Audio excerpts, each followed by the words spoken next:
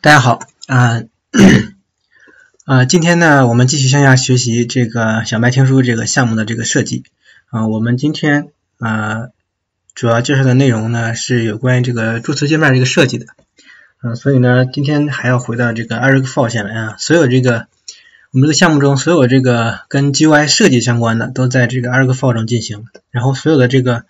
呃动作草函数的这个处理都在这个 Eclipse 下进行啊。大家如果觉得呃嫌折腾的话，可以在这个 Eric Fall 下面做这些所有的事情啊，只是这个个人喜好的问题，这个不是强制性的要求哈、那么我们看一下今天这个我们要、呃、介绍的这个内容。好，我们今天呢主要介绍这个小麦听书这个项目的这个呃注册界面这个设计环节啊，因为这个注册相关的话，它有一呃有一系列这个呃步骤，那么我们先把这个界面设计出来啊。如果大家想做这个不免费的软件的话，那么注册是必须的，所以呢这个注册的时候呢要设计一个这个呃比较人性化的这个注册界面。好，我们接下来往下看。嗯，我们这个软件注册呢，就采用这个在线注册的方式啊。大家知道这个软件注册这个方式是太多了。那么像一般的像这种像我们用的这个微软的这个操作系统啊，它可以通过这个 CD 发售的时候带一个这个序列号，然后呢采用这个离线的这个注册方式。它有一个这个呃通用的这个加密的算法啊，我之前嗯了了解过一些，好像是什么椭圆之类的一一个算法，然后它给你这个序列号呢都是在这个呃椭圆上面的，你输入之后呢，它进行一系列验证之后，发现这个点在这个椭圆上面，那么就相当于是这个注册号是合法的。但它那个注册号也是非常长的，呃，大家可能都有有有一些人如果是用那种正版软件去破解的话，正版系统去破解的话，可能会见过这个注册号很长啊。但是大部分人的这个系统都是 Ghost 的，Ghost 的话就看不到这个注册这个环节。嗯、呃，那么这种呢是一种常用的这个离线的方式啊，因为我们这个软件呢，小麦听书这个软件呢，呃，主要精力不在这个加密算法上，所以呢，我们就采用这个在线注册的方式。在线注册的话，因为我们这个软件呢本身它使用的时候也需要网络，所以呢，我们总之你离不开网络的，所以干脆就直接在线注册算了。那么在线注册的话呢，那个注册码就直接通过呃用户指定的这个邮箱发送给客户。啊，这是我们后续的课程需要介绍的。然后大家如果是自己写软件的时候需要提供这个付费服务，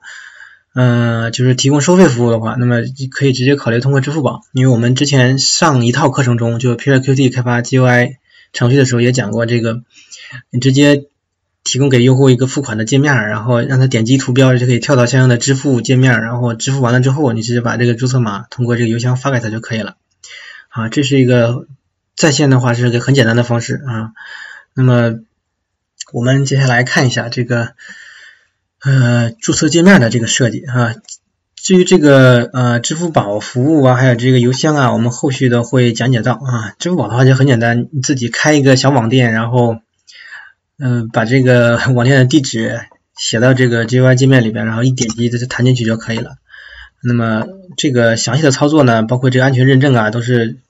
阿里巴巴已经给我们做好了，所以我们也不用太操心，直接用现成的就行了啊。如果想自己写这个支付的话，啊，可还不是那么容易的事情，嗯，得找相关的这个呃扩展套件去实现。好，我们看一下这个注册界面的设计，呃，我们这个注册界面呢，就不是用这个 main window 了啊，一个程序里边不能出现两个 main window，否则会打架啊。这个之前也说过了，我们就用这个对话框界面，就是 dialog。然后呢，要求用户填写这个注册信息，呃，包括这个姓名、电话、公司和邮箱等等啊，这些都是强制填写的。如果有一行空了的话呢，这个注册界面就不消失啊，一定要强制用户填写完。嗯、因为这些基本上都是必填项啊，你跟用户确认的时候要，嗯、需要这些信息，啊、也方便你统计这个软件的这个使用人群啊和使用对象等等这些喜好。然后呢，在主界面注册的草函数中呢，弹出这个注册界面啊，平时的时候是看不见这个界面的。好，那我们来实际的看一下，怎么样实现一个这个注册界面，并把它嵌入到我们这个呃主界面当中。首先，我们还是打开这个 Eric Fall 啊，这是我们之前的这个做的这个界面，我们在此基础上再加一个啊 new form，就选择这个 dialog，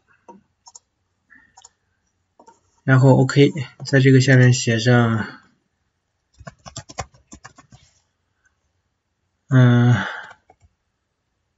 ，register 吧，这个词我具体不记得了啊，register 好像是寄存器的意思。不知道是不是有没有注册的意思，先取这个名字吧。好，这个界面呢，我们给它取一个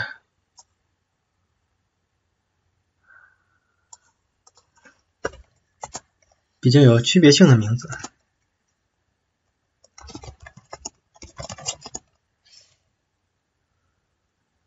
啊，叫用户注册吧。好，那么在这个基础之上呢，我们需要的是这个用户的这个姓名啊，包括这个电话等等这些信息。那么肯定我们需要这个加入 label，然后姓名保存一下，再来一行是电话。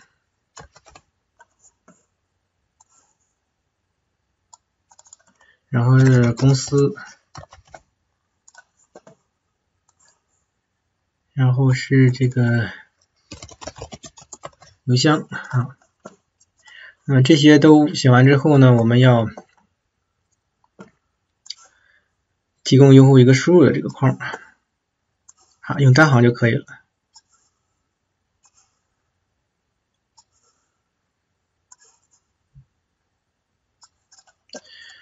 好，那么这个框呢，可以把它变长一点，因为有一些用户的这个邮箱啊，可能比较大。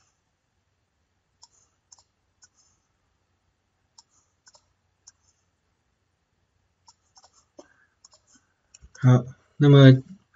这边呢，用户如果填写完了之后，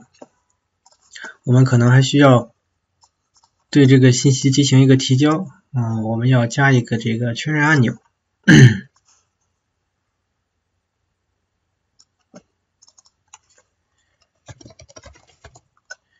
提交好，OK。呃，那么如果用户说不想注册的话，那么这个界面也不能一直弹出，所以就加一个取消，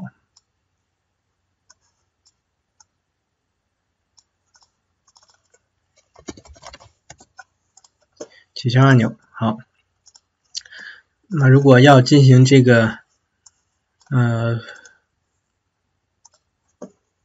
字体的这个修改的话也是一样的，在这边选开启十二号。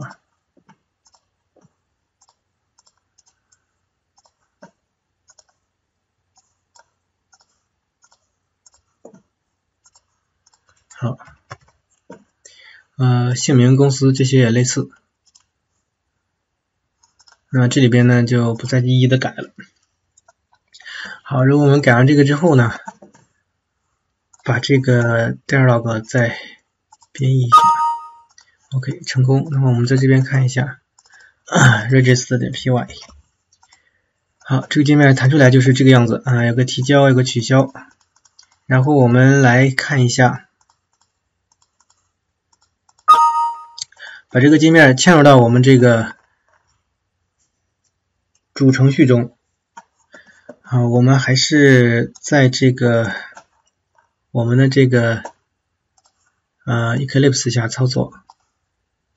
好，我们还是根据以往的这个方法，把这个整个界面的这个文件给它复制过来，那么就是一个 UI 文件，呃 register，然后复制到这边来。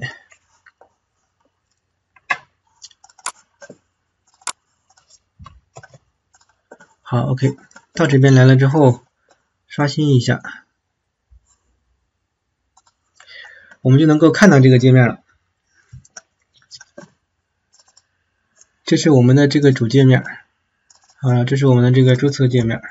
在这边，哦，sorry，快捷键用错了，在这边运行一下，那么也是没有问题的。没有问题之后呢，我们还是要嗯类似的在这个生成它的这个 dialog code